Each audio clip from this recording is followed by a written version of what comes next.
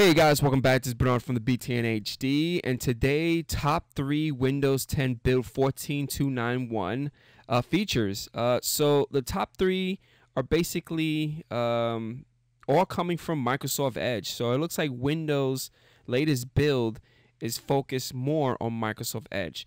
So top number three in my list. I can't believe it took them this long to add this feature.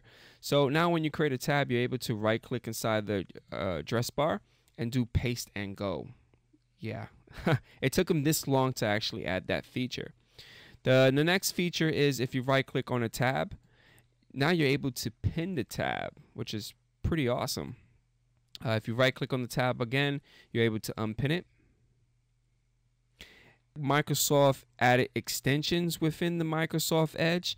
So on the three little dots right here, it gives you an option to extensions and uh, you're able to load extensions or get extensions. So let's click on get extensions. And it looks like you're able to only download only three extensions right now. You got Microsoft Translator, uh, Reddit Enhancement Suite, and Mouse Gestures. So let's download Mouse Gestures and see how that works.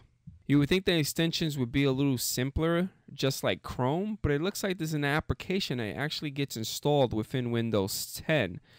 Uh, got a nice little dialog box right here. It opens up the notepad. It says adding extensions to the preview build of Microsoft Edge, instructions how to use, blah, blah, blah, blah.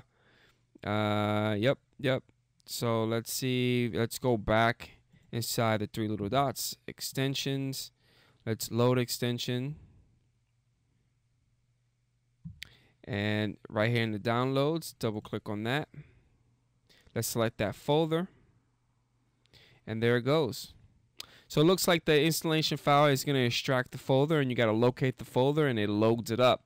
You would think they would actually load it up automatically for you, but it doesn't look like they're doing that. Hmm, interesting. Now for the new build, they also added an extra uh, UI design that I found.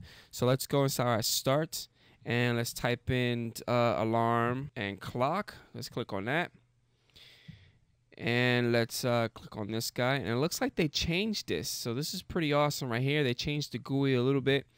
Uh, I want to show you guys uh, what it used to be. So this is how it used to be in the old build. This is actually build 14279. And but they kept the same GUI, but when you edit now, they changed it. Hmm, interesting. And that's it, guys, for my top three new features for build 14291. If you guys are testing out the latest build and find something else that I haven't touched based on, leave it at the comment section. And I catch you guys on the next one. Peace out.